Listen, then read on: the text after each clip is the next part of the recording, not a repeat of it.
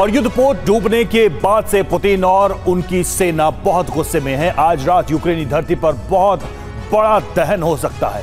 Putin सेना अब ऐसा विध्वंसक हमला करने वाली है, जिससे यूक्रेन सरेंडर को मजबूर हो जाएगा।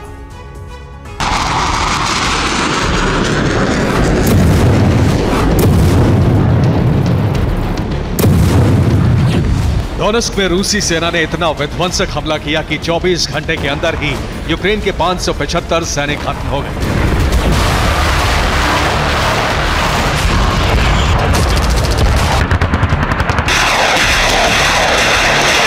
रोशनी लीबन में रूस के विध्वंस से एक दिन में ही यूक्रेन के 290 जवान मारे गए।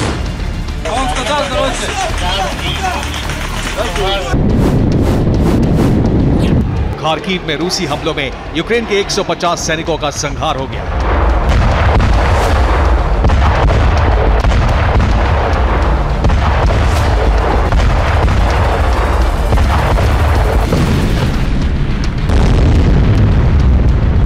अवदीपका में 200 से ज़्यादा यूक्रेनी सैनिक मारे गए।